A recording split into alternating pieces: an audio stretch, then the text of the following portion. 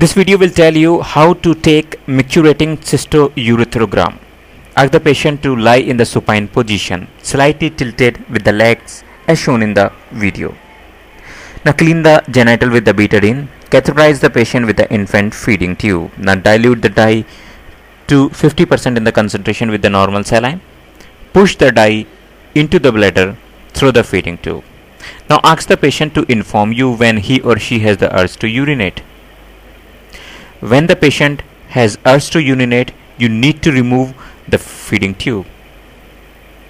Before that, when the patient come, take the film in empty bladder. Now when the dye is being filled and the bladder is full, now take a full bladder fill. Now when the patient is micturating, now ask the patient to micturate, give a kidney tray to the patient and take the film micturating film. After that, take the post void film. If you like our videos, please subscribe to our channel because it's absolutely free.